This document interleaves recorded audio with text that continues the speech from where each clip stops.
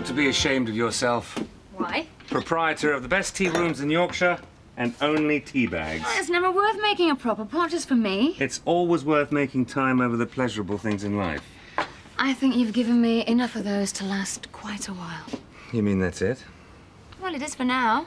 You've gotta go to the club, I've gotta show my face in the tea rooms. One night, that's all we managed when we could have had a fortnight. You'd have only got in the way on holiday. Alice and I had a wonderful time on our own. I'm beginning to get a touch peeved about how often you keep saying that. You know, some people would have been quite miffed about what had happened. Well, I'm hardly in a position to complain. I'm your mistress, not your Yeah, even so, the way I left you, I mean, it... The holiday would have been a thousand times better if you'd been there, especially after last night. But if you had to go back to your wife instead of coming away with us, then it's something I'll have to get used to. But you didn't even ask what was so important. Not even made a sly dig. I know I would have. I've uh, got to get Alice off to school. If you fancy some proper tea, I know a nice little place two minutes walk away. Now, do you fancy a meal out tonight? Oh, um. oh. yeah, sure. Are we celebrating being back together? Well, I thought it would give us a chance to talk. Talk. Okay. Listen, we've not sorted anything out. We split up because I wanted a baby and you didn't. I haven't changed my mind. Do you think I'd still be here if I hadn't? I've had a lot of time to think about it, and, well, I was frightened before about what it all meant. But I love you. And who better to have your children with than someone you love? Hmm. I don't suppose there's any point in me mentioning that Mandy's away, I'm lonely, and that three's company, two's just rubbing my nose in it. I don't suppose there's any point in me mentioning that you've circled the calendar for tomorrow with Mandy's back scrawled against the date. so, would you ask um, Pavarotti to sing without exercising his larynx, or uh, Robert De Niro to act without getting into the soul of the character? Oh, who could resist an offer like that? Not me.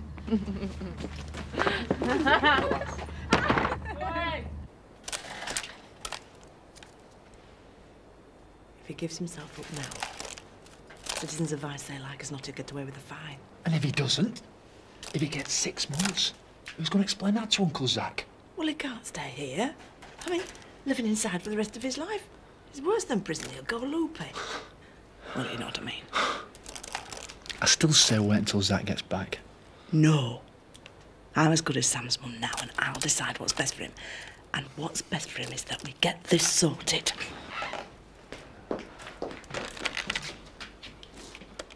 What are you two whispering about? Oh, whether to call them. What are you doing?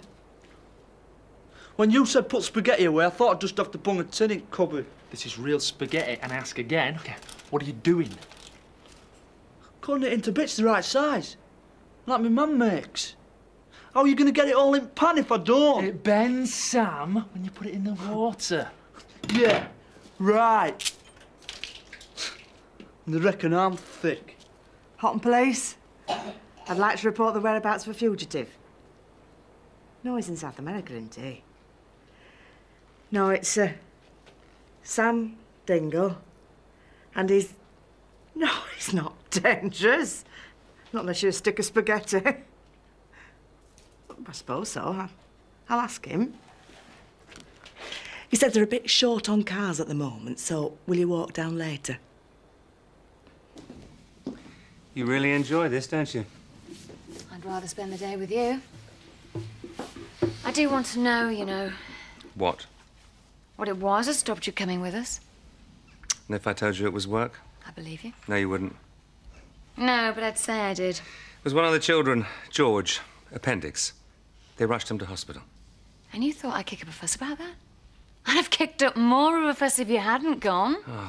You really deserve better than me, you know. Oh, I don't know. I'm happy with this. It's not perfect, but it's um pretty good. So when you back? Uh, I'll call you. Oh, I see. So you've had your wicked way, and now it's, uh, I'll call you. I may have had my wicked way, but I haven't had my toasted tea cake yet, or my pot of java.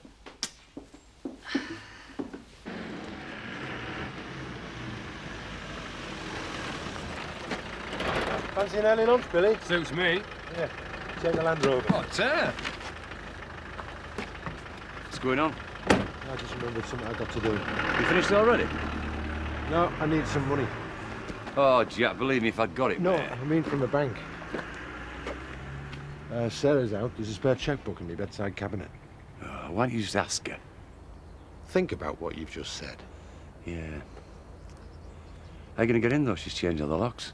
Well, she was always on at me about fixing that window. Catch is broken. Where should we go tonight? Out of the village for a change. Mm. Okay, you book, I'll drive. Excellent. Well, if you decide to have your baby, you'll have to give up drinking and then you can drive me everywhere. Till I get too fat to sit behind the wheel. Oh.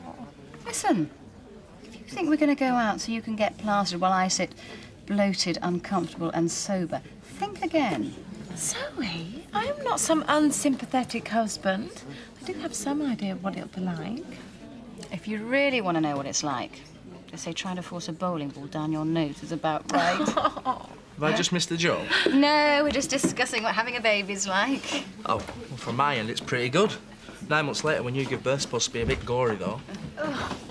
You must have realised when you come back the police will be looking for you. Uh, excuse me, excuse me. This is the same police who said, oh, can the dangerous fugitive please pop down to the station at a more convenient time? yes, well. So, the likelihood is that if he hadn't rung them, they might not have bothered about it. Would you mind not talking about me as if I weren't there? Hey, mate, as somebody who don't know naught about this, do you reckon you can trust the police? And seeing as you ask, they're a bunch of vicious pillocks who stitch up their own granny if it meant getting a backhander off some villain. Oh. Yeah, that's uh, not an entirely unprejudiced view of the boys in blue, is it? Scumbuckets, a lot of them. That one you spoke to, he were nice, weren't he? Yes, he were. You take no notice of him. Yeah, in fact, uh, on his day off, he, he was mentioning to Lisa he doubles as the Tooth Fairy. It's him, is it? I've been waiting 15 years to meet him. Took me two best teeth and left me a five percent coin with a bit of chewing gum stuck to it. Used. Jack! I don't believe this. Jack, get out of there, quick! Oh, this is all I need.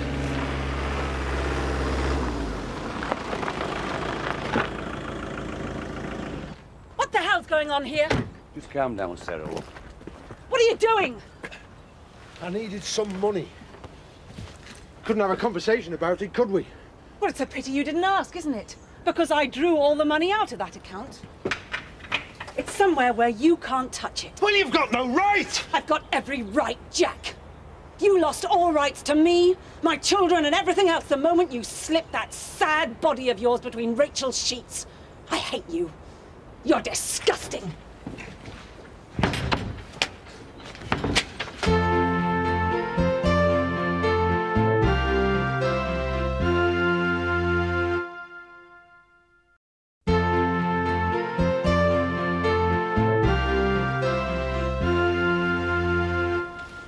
Hey! Did you really think I'd leave anything for you to get your slimy hands on? You've taken everything! Taken everything and smashed it! Well, I'm gonna do the same to you! Just leave it, Jack. You'll only make things worse. She can't take all the money. Everything. Get a solicitor. It's the only way, mate. I'm only surprised this lasted as long as it did! Didn't you get a headache? Didn't your back stop playing you up? And have you ever thought why I needed somebody else? I've thought of nothing else! Now I realize why!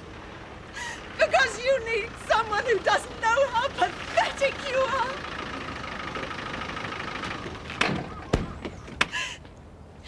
Has he hurt you? Has he done anything but hurt me? I can sort him, you know. No. Leave him. He's never gonna have the chance to hurt me again. It's my turn now. What if they charge me with something else? You know, I like wearing them disguises and that since I came back. Oh, yeah. Sam Dingle. I charge you with impersonating Sherlock Holmes for wearing a deerstalker. The entire SAS regiment for wearing a balaclava and a complete prat for wearing them daft specs. I thought I looked all right in them. You looked best when you wore that balaclava back to front. Sam, only the style police would charge you for what you wore. OK. You wait till your dad gets home. No, I won't. I- I've got to act like a man now. Make me own. What's it? Decisions. Cock ups. That's acting like a man. Ta. See you later. Where you going? I'm going to do what a man's got to do. Well, go and do it in the house. You don't want to be done for indecent exposure and all. I'm going to give myself up. If you can't do the time, don't do the crime.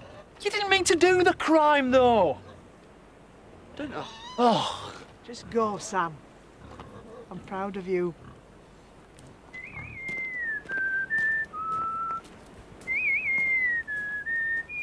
Will you do me spaghetti for me supper? Bolognese. Not you. Lisa. There's a tin of shapes. Spaceships and that. Proper spaghetti. I keep finding stuff I don't recognise. It's been so long since we've seen so much of it. What's the betting? All the junk will be intact and something precious will be smashed to smithereens. of course, if it's those terrible plates your Aunt Marge left. Becky, hey, this is a new start. A new beginning. We all agreed. All that stuff's in the past. She's not dead, Tony. We gave her away. No. We decided it was better if Jerry was adopted. For Emma's sake. Well, for all our sakes. Yes, but look at this place. It's a family home. In 18 months, Will will have disappeared to university, and in a couple of years, so will Emma. It's like fate is mocking us. What might have been. You know this is down to the uh, stress of finally moving house, don't you? You wish. Becky, please. Look, I want her back, Tony. She's part of our family. And now we've got our home. Haven't you two finished unpacking yet? I told you we should have gone to Hotten. Look at this stuff. Can't wear this, it's ancient. New house, new wardrobe. Need new clothes. Dream on. So, how is it with you and your dog, eh? Still on after the holiday? yes. Only it's not same as it going on holiday with somebody. I mean, it's not like seeing him just once in a while. I wouldn't know he didn't come. You what? Work. Work? You've seen what he's like. His phone never stops ringing. Well, where is he now then? Is he back in London, is he? He's got a few things to do at the golf club first, then yes. Oh. Kathy, love, now you know I'm not one to stick my nose in, but, well, all I can say is if I was a fella and you were my lass, I certainly wouldn't put work first. Betty, I don't know what you're trying to say. No, but- what I'm trying to say, love, is I think he's married. And you've been on the other side of that sort of goings on to know there's now to the end but grief. Betty, thanks for the warning.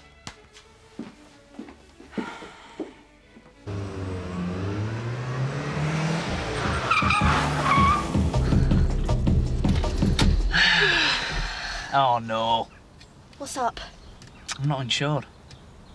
I hope nice one. Never thought I'd be glad to see a dingle. You can't drive like that round here, it's dangerous. Oh, Mum, get a flipping life. You in. I'll have the police onto you if I catch you driving like that round here again. Like Kelly said, Viv, get a life. I'll see you in the pub later. Yeah, see you later. So you've missed the bus. What do you want me to do? Arrest the driver? Don't you recognise me? You're not one of them from Oasis, are you? From them wanted dead or alive thingies. This is a wind-up, isn't it? OK, I'll give you a clue. Who are you looking for? Oh, a lass who looks like Sandra Bullock and cooks like Gary Rhodes. I usually get them the other way round. Right, that's it. I'm not moving till you promise to take me in. I can reverse. I'm giving myself up.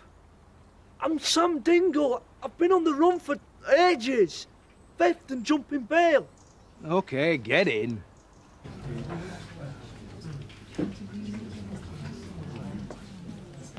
It's all right, miss, isn't it? Thanks for pointing it out. Hey, look, Jack. I don't know what to say. Yeah. I'm sorry. I mean, you and Sarah, you, well, you've both been really good to Andy and me. I just think it's a shame. How was she this afternoon? Aye. Fine. She really intends screwing you for every penny, you know? Yeah, well, like Ned says, when she calms down. Trust me, Jack. I've talked to her. When she calms down, she's gonna think first, and then she's gonna screw you some more. Whoa, whoa, whoa. Hiya. I just spoke to Mandy on the phone earlier. They're on their way. Vic and Terry couldn't even find their way back across the channel. Hardly think a trio of dingles is going to improve their prospects of a safe return. We can always hope for a hijack to Cuba or something. Eric, I presume you keep champagne? No longer than I have to. Fancy joining me in a bottle, Viv? Well, I really can't think that there's anything to celebrate. Well, I can celebrate Mandy coming home and you can celebrate your last night of freedom. Sounds good to me. And as two teenagers have just instructed me to get a life, might as well start now. Champagne for table six. Champagne? Yes, for some unearthly reason, Paddy thinks the return of the Dingles from the other side of the world is something to celebrate. Why should it concern you? The only dingle you ever see these days is Marlon. Even Sam doesn't seem to be hanging around you much. That's because he's given himself up to the police. Yeah. Well, we were fed up with him hanging about at home. At least there'll be one less dingle in circulation for a while. They reckon he'll only get a fine? The man's a fugitive. He jumped bail. My bail.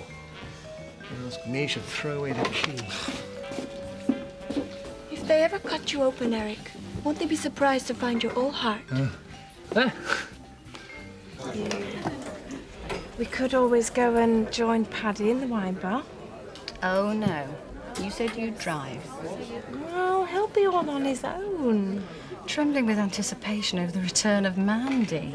I just want to see him happy. Hmm.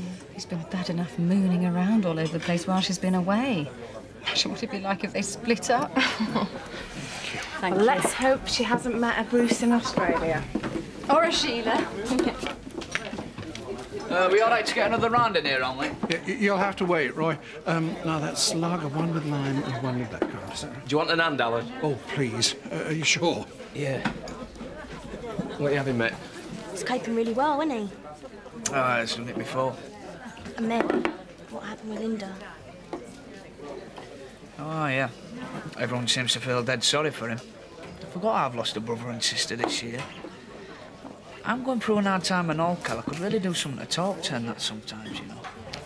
Could I have some ice in that if it's no bother, please? Yeah, no problem. Well, maybe you just ran off to Amsterdam just to make you jealous, you know, just like that affair with Terry. Oh, sure. Me, he gets back at. Terry, he goes with. Yeah, the phrase double standards does seem to apply here. So what do you stay together for then? The kids? For the shop. Have to make a go of it. If we sold it and split the proceeds, we both end up in some dump with no job. Yeah, but to stay together when you're like this, is there nothing there? We're not even friends. Never mind anything else. Oh, Vic's not a passionate man, and that's what I need a bit of excitement. A man who knows how to treat a woman, someone who makes me feel desirable. Someone who buys me champagne.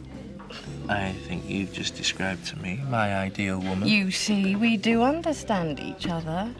I can tell you know how to treat a woman. Um, actually, I just meant someone who buys you champagne. You mean me, champagne? Yeah, uh, me champagne.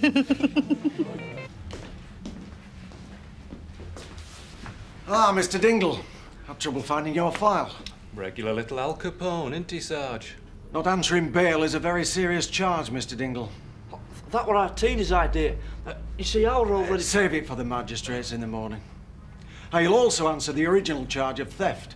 And you can think yourself lucky I'm not doing you for obstructing a police officer in the course of his duty. I didn't. I was obstructing his car. Can I make my phone call now? Go ahead. Ta.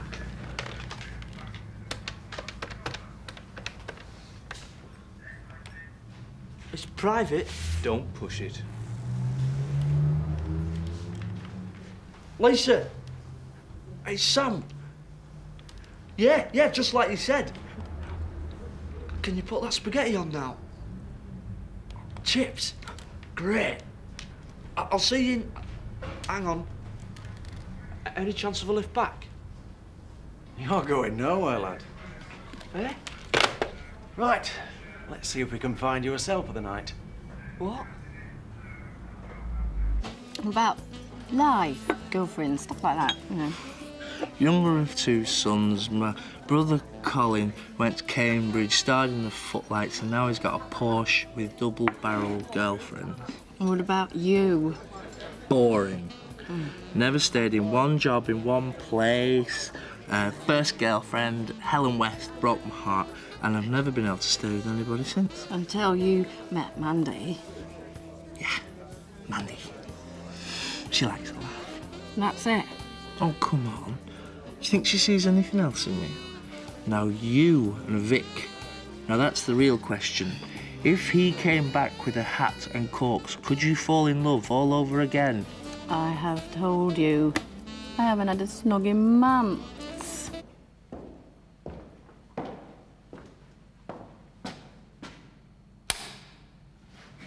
Oi! Put the light back on! I don't like the dark! Will you shut your gob, you big fairy? Otherwise, I'll get them to put you in this cell with me.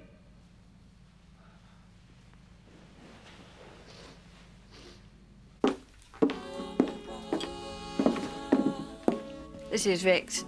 He doesn't know I know about it. Glenn Hoddle.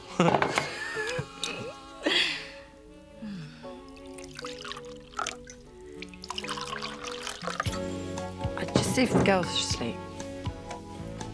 I'll be back in a minute.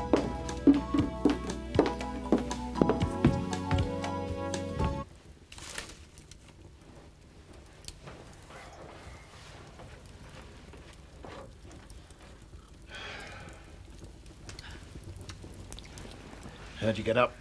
Sorry, I didn't mean to disturb you. I've got to get Jerry back, Tony. I know it's hard, but Emma's just beginning to settle. I'll make her understand. I'll bring her up. Doesn't have to be Emma's problem. We can manage, me and you.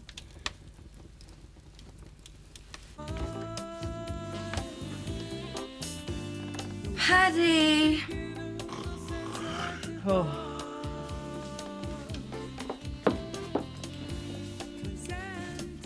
Wake up! Uh, uh,